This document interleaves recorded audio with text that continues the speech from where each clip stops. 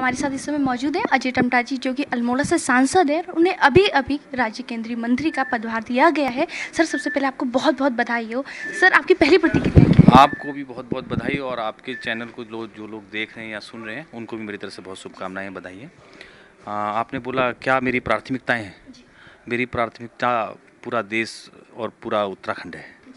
और पहली बात यह है। दूसरी बात यह है कि आ, मुझे जो भी ज़िम्मेदारी मिली है चाहे वो पार्टी के कार्यकर्ता रह करके एक बूथ के सदस्य से लेकर के भारतीय जनता पार्टी की राष्ट्रीय कार्यकारिणी का सदस्य मैं रहा हूँ तो उसको मैंने पूर्ण निष्ठा के साथ काम किया है। वैसे ही अगर लोकतांत्रिक व्यवस्था में कहते हैं तो मैं ग्राम पंचायत, जिला पंचायत के सदस्य के रूप में मेरी राजनीतिक जीवन की शुरुआत जिला पंचायत सदस्य, फिर उपाध्यक्ष, फिर अध्यक्ष और फिर विधायक, राज्य मंत्री, कैबिनेट मंत्री और सांसद। और अभी मुझे केंद्र सरकार में राज्य मंत्री का काम मिला है। इसको भी मैंने जिस प्रकार से नीचे तक के सारे दायित्वों को बिल्कुल पूर्ण मनोयोग के साथ और उत्तम करने का विचार किया है उसी प्रकार से पूर्ण निष्ठा के साथ मैं इस काम को भी करूँगा। सर क्या आपको इस तोहफे की जानकारी थी कि आपको मोदी सरकार की तरफ़ से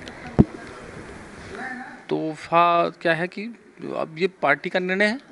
पार्टी ने जो भी डिसीज़न दिया क्योंकि कोई भी आदमी हर आदमी राजनीतिक जीवन में सामाजिक जीवन में रहता है तो उसकी बहुत सारी भावनाएँ रहती हैं। मगर मेरी अपने जीवन में कोई ऐसी भावनाएँ कभी नहीं रही। मैं मंत्री था उत्तरा, उत्तराखंड में 2009 में, और कैबिनेट मंत्री था। पार्टी का आदेश हुआ कि आपको लोकसभा चुनाव लड़ना है। मैं लोकसभा का चुनाव लड़ा तो मेरे को जानकारी नहीं थी। अब क्या कहें कि उस वर्ष हमारी पाँच के पाँच सीटें नहीं आ पाई। फिर मैंने मंत्री पद भी त्याग दिया, इस्तीफा दिया। तो इसलिए क्या होता है कि काम करते रहना चाहिए। जो भी दायित्व मिले, मगर जो भी दायित्व मिले उसको पूर्ण निष्ठा के साथ करना चाहिए, क्योंकि ये जो लोकतांत्रिक व्यवस्थाएँ हैं, इसमें सांसद की अपनी भावनाएँ नहीं होती, उसके अपने संसदीय क्षेत्र की भावनाएँ होती हैं। तो उन भावनाओं को वो जहाँ जिस जगह उनको भेजा है, जिस जिस स्तर में, चाहे वो संसद के अंदर भेजा है तो संसद के अंदर उनकी परफॉर्मेंस अच्छी होनी चाहिए। वहाँ के लोगों को लगना चाहिए कि हमारे सांसद परफॉर्मेंस ठीक दे रहे हैं। वहाँ के लोगों को उसकी फ़ायदे, जो जिन कारणों से, जिन विषयों को लेकर चुनाव में उन्होंने अपना एजेंडा दिया था उस एजेंडे के अनुसार उनका काम हो रहा नहीं हो रहा।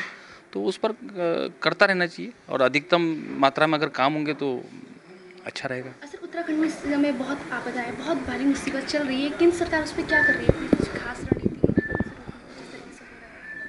ये एक बड़ा प्रश्न है कि 2009 के बाद उससे भी पहले रही है मगर 2009 की लाज अकेला की घटना मुंशियारी में 42 लोग एक ही रात में 2009 में घटना घटित हुई। 2010 में देवली, अल्मोड़ा, जागसोड़ा, बल्टा, उसके बाद केदारनाथ की घटना और फिर उसके बाद आपकी जानकारी में होगा धारचूला और मुंशियारी ये सारा बहुत बड़ा उत्तराखंड हर बार, हर बरसात में कांपता है। और ऐसी स्थिति हो जाती है कि बहुत सारे लोगों की जानें चले जाती हैं। इस विषय को मैंने लोकसभा के अंदर भी 193 की चर्चा में रखा था। 193 की चर्चा के बाद मेरे पास बहुत सारी चीज़ें आई और मुझे बहुत खुशी है कि हमारे माननीय प्रधानमंत्री जी की पहली स्पीच देवभूमि उत्तराखंड को लेकर भी इसी चिंता के लिए थी। और उन्होंने ये ज़रूर कहा था कि हम उत्तराखंड राज्य हर बार दैवीय आपदा से कांपता है, बहुत सारे लोगों को काल का ग्रास होना पड़ता है। तो ये बारह राज्य जो हिमालय राज्य हैं, इन हिमालय राज्य पर क्योंकि आपदा को तो कोई रोक नहीं सकता दैवीय आपदा है। मगर उसके लिए पूर्ण पूर्वाभास अगर हो जाए, आज विज्ञान ने बहुत प्रगति कर ली है तो हम कुछ लोगों की जानें बचा सकते हैं क्या? लोगों की जानें बचनी चाहिए, ये प्रधानमंत्री जी का विजन था।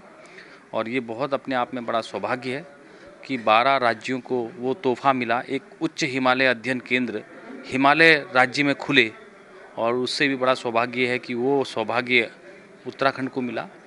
और उत्तराखंड में अल्मोड़ा, जो पंडित गोविंद वल्लभ वन एवं पर्यावरण संस्थान है।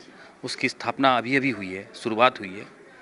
और, चूँकि आपदा हर बार आनी है, आपदा का पता नहीं है कहाँ आएगी, क्या आएगी। मगर ये अपने आप में बड़ा गंभीर सवाल है। इस बार भी हमारे लगभग 36 लोग काल के ग्रास अभी हुए हैं। अभी तो पता भी नहीं चल पा रहा है चमोली और पिथौरागढ़ में। मैं भी उसी कार्यक्रम में जा रहा हूँ। बीच में जाके मैं लौट आ क्योंकि दो तीन दिन रोड ब्लॉक थी। रोड नहीं चल पा रही थी। मैं उस कारण से दिक्कत आई है। अभी भी वहाँ हमारे केंद्र सरकार ने बहुत मदद की है। आर्मी के जवान लगे हैं आईटीबीपी है और एसएसबी के जवान हमारे काम कर रहे हैं और एनडीआरएफ की टीम गई है। सेना और केंद्र सरकार पूरे तरह से उसमें मदद कर रही है। और प्रधानमंत्री, मैं गृह मंत्री जी से इसमें व्यक्तिगत मिला था। गृह मंत्री जी ने उसमें तत्काल कार्रवाई की और ये सारी चीज़ें जुटाई हैं। हाँ सर, मोदी जी देश विदेश की यात्राएँ कर रहे हैं। उत्तराखंड की यात्रा कब करेंगे? जिस तरीके से भारी तबाही वहाँ मची हुई है। तो आपको नहीं लगता कि वहाँ पर आना चाहिए, वहाँ दौरा करना चाहिए?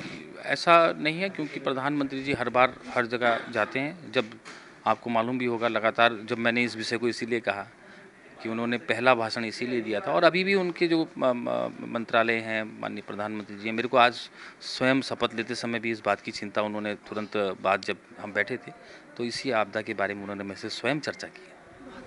जी, धन्यवाद ये थे हमारे साथ अजय रमटा जी कि केंद्रीय राज्य मंत्री बन चुके हैं। वीडियो जर्नलिस्ट विनोद के साथ रोजी अली, हिमालय न्यूज़, न्यू दिल्ली।